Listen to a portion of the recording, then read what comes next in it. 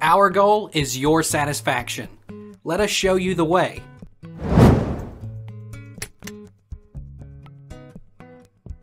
Should I disable Bonjour service? Bonjour is an important part of iMacs and Mac notebook computers.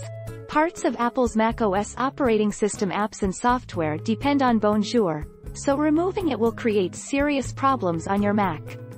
Apps such as iTunes and Safari use Bonjour to communicate with other devices on your company network.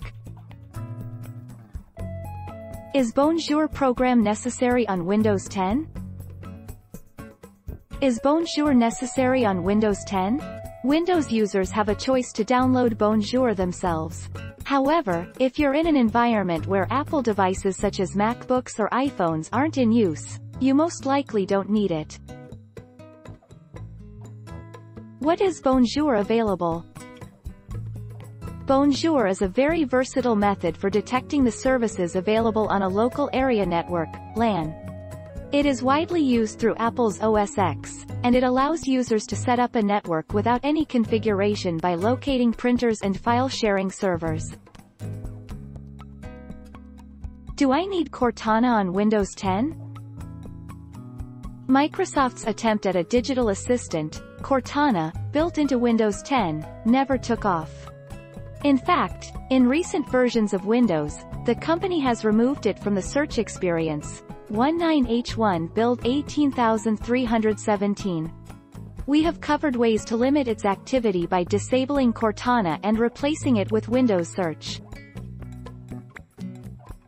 Is Bonjour app a virus? Bonjour service is not a virus on Windows 10 computers.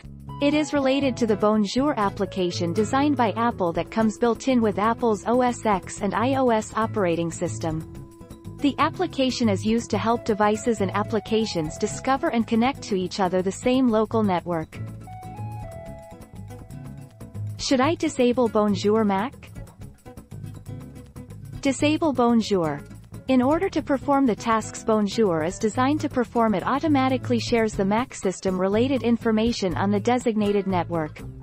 In the case the network is not trusted one might want to reconsider using Bonjour and disable it. Take our lead. Let's help you make your mark.